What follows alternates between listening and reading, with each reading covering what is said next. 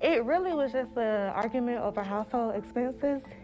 Um, that Friday before, we got into an argument, and he actually pulled a gun on me that Friday. Told me that he was gonna take the tissue out of the bathroom that he had bought, and that he was gonna put it in his room to be petty. So, at that point, I approached him, and I started trying to grab at the tissue, and then he pulled out his gun and he shot me eight times.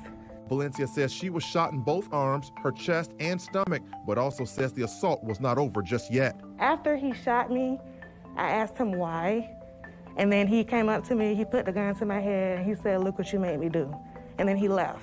Yep. She says not long after she was released from the hospital, she learned that she was one month pregnant when she was shot. Did he know that you were pregnant when he shot you? Nope, neither did I.